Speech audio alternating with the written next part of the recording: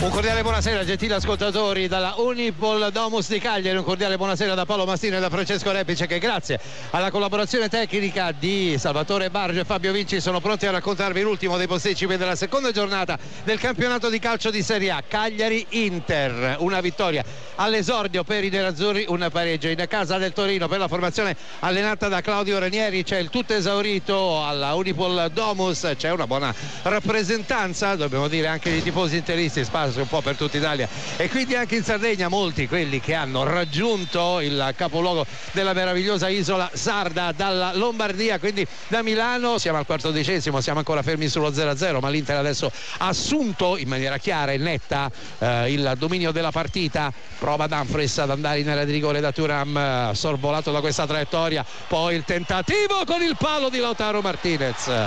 di sinistro al volo. A Radunovic battuto montante col colpito dal toro argentino prima palla gol per l'Inter. Non è precisa l'Inter adesso in fase di posazione ne approfitta il Cagliari o perlomeno prova a fare attenzione però Turam ruba il pallone proprio sulle mani posizione accanto alla vertice dell'area a destra arriva la sovrapposizione con il tiro di Danfres ha segnato l'Inter esattamente al ventunesimo minuto nel corso del primo tempo cambia il parziale. Alla Unipol Domus di Cagliari è passata in vantaggio l'Inter con Dumfries sovrapposizione sul tocco di Turam che aveva rubato palla in maniera regolare proprio a Sulemana ha imbucato per l'esterno olandese un piatto destro angolatissimo lento ma inesorabile nella sua corsa verso la porta difesa da Ranunovic che nulla ha potuto su questo eh, tiro eh, praticamente incrociato da parte dell'olandese l'Inter è in vantaggio per 1-0 siamo al 22esimo sì errore a centrocampo pagato a peso carissimo da parte del Cagliari. C'è stato proprio uno scambio tra Zappa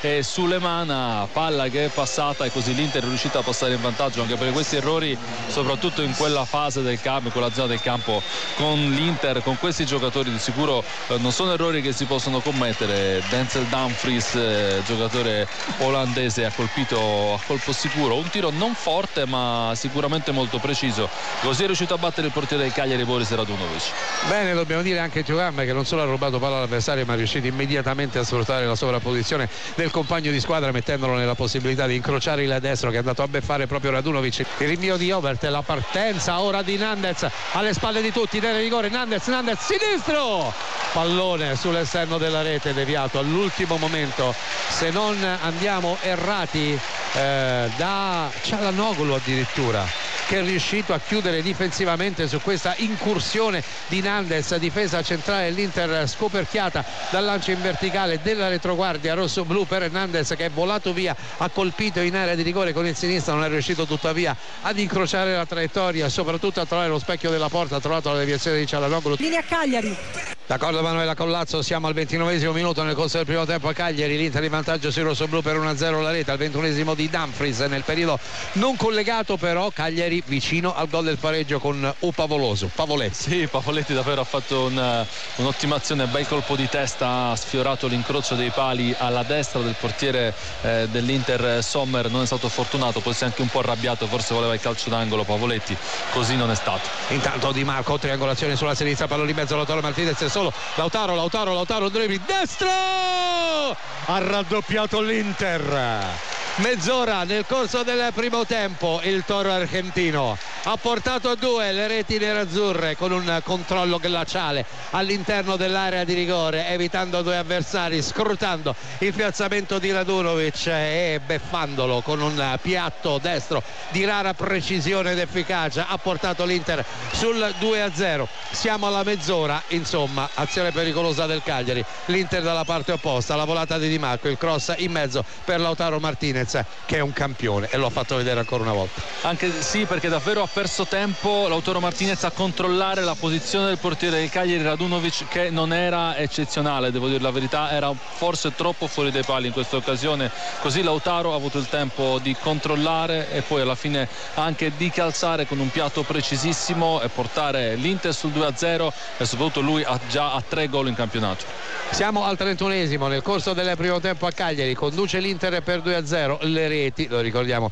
di Dumfries e Lautaro Martinez. C'è qualcosa cosa da verificare però probabilmente per la posizione in partenza in volata dalla corsia di sinistra di Di Marco se fosse o meno regolare la scorribanda dell'esterno della formazione di Simone Inzaghi da quel lato del terreno di gioco che lui ara e conferma. Proprio Fabri che si tratta di gol e quindi Di Marco era in posizione regolare. Bastoni che si ferma va in profondità tocca Arnautovic ancora di sponda per Cialanoglu riceve tocco di ritorno da parte delle turche va sulla corsia di destra dove si catapulta? Caffè Colombia quadrato all'indietro Cialanoglu destro e pallone che colpisce il palo dopo la deviazione probabilmente di Radunovic Inter vicinissima al gol del 3-0 proprio con Cialanoglu. C'era stata anche una deviazione di Dossena che aveva in qualche modo avvicinato il pallone alla porta ma insomma si è salvato il Cagliari in questa occasione di prima con l'interno destro De Vrij di prima ancora in profondità per Frattesi la chiusura è quella di Obert poi il gioco in anticipo di Macumbai i danni Lotaro Martinez il lancio preciso a sinistra per Lumumbo che può puntare l'avversario entrare nel rigore Lumumbo Lumumbo Lumumbo parte il tiro deviato attenzione secondo palo parte il tiro da pochi passi di Azzila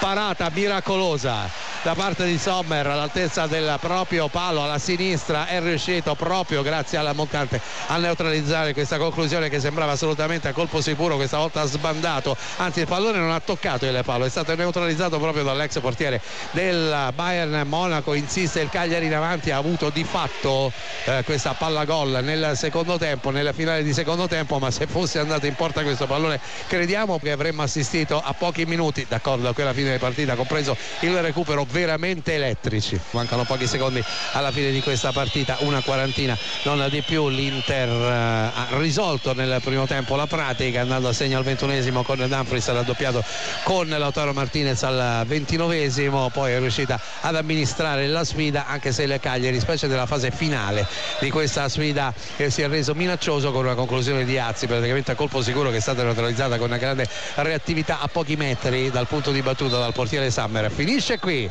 la partita della Unipol Domus di Cagliari l'Inter ha battuto il Cagliari per 2 a 0 è in testa alla classifica assieme a Verona, Milano e Napoli con 6 punti e quindi a punteggio pieno dopo eh, due eh, partite. Le reti le abbiamo dette da Fritz e Lautaro Martinez nel primo tempo meno resta che ringraziare per la preziosa collaborazione tecnica Fabio Vinci e Salvatore Vargio per i più che mai opportuni interventi accanto a me. In postazione cronaca Paolo Mastino Francesco Repice nel ribadirvi che l'Inter in trasferta a Cagliari ha battuto la squadra Ranieri per 2 a 0 augura a tutti i radioascoltatori una serena notte